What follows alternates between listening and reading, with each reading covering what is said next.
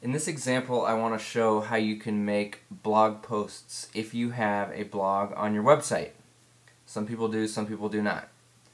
If you do have a blog, keep in mind that it's something that you will need to constantly update on a daily, weekly, monthly basis. It's something that is ongoing. It's not something you just put up there and leave it alone. It's uh, basically a blog will have articles on a regular basis. And you can do this for your website if you would like. So I just created a blog for this website. And so if we click on blog right now, it doesn't have any blog posts here right now. So I'm going to show you how to add a couple of them. So first thing we're going to do, like we always do, is go up to the website, type in wp-admin. We're in the dashboard. Now, blogs are always have posts. They do not have pages. Pages are what you see right here. These are pages. The confusing part is is that your blog is also a page. You, get, you click on the page in order to access the posts. So if we go back into the dashboard and you'll see that we have um, one post here right now. Um, we'll just trash that one because there's nothing in it. Um, but when you create a blog post or an article that's going to appear on your blog page, you want to make sure that you click on Add New Post, not Pages. Add New Post. Um, and so, but when you go into Pages here, you will see that you actually have blog as one of your pages. Don't touch this. Do not touch the word blog in your page list. You do not want to do anything with this. This will confuse you if you do. So you want to make sure when you make a blog post that you always go up to posts. So I'm going to click on posts. I have no posts found. I'm going to click on add new.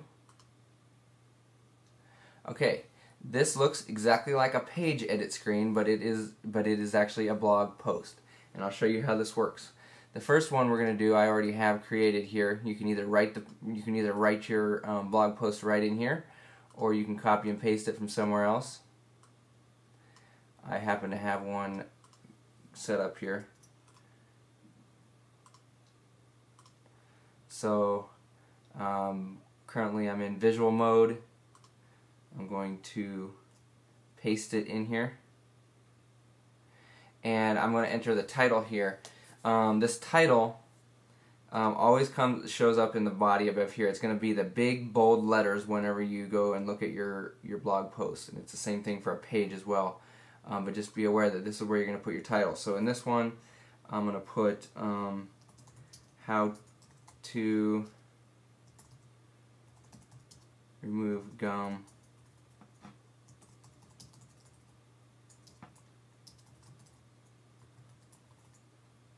carpet. Okay? And, you know, you can um, make some little adjustments here. So, like, I'm going to bold these different steps.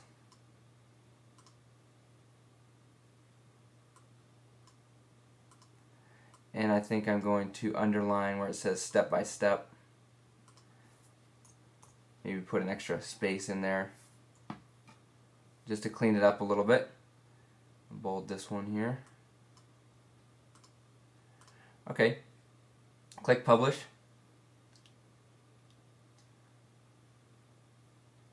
And now, now that it's been published or updated, I can go in there and view it.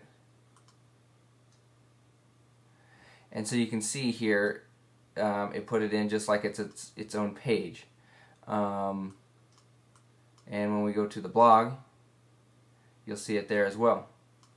So it's right there. Okay. Now let's go back in and add another blog post so you can see exactly how the blog works. So we're going to go add new again. And I'm going to add this other article that I have written. Paste it in there. And this one's called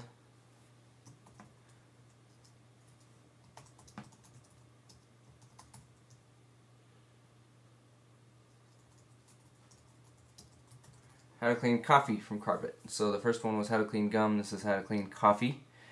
and to save time I'm not going to do all the editing right now but you can do all that you want. You can add insert pictures just like we showed you in the insert pictures for a page. You can do that on a blog post as well. So this is the way I want it. I'm going to click publish. Okay and I can go to view post. Now it's going to show this this one how to clean coffee instead of um, gum. Now when you go and click on blog we have two blog posts in there right now. So we're going to click on blog. How to clean coffee from carpet is the first blog post that shows up. But if we scroll down, we will see that how to remove gum from carpet is below that. So now we have two blog posts. The most recent one will always show up on top. So keep in mind when you're creating blog posts that the most recent one is going to show up on top when you click on the blog page on your website. You will need to play with this a little bit to kind of get the hang of it and understand how it works a little bit, but hopefully this shows you, this will get you started and show you how it works.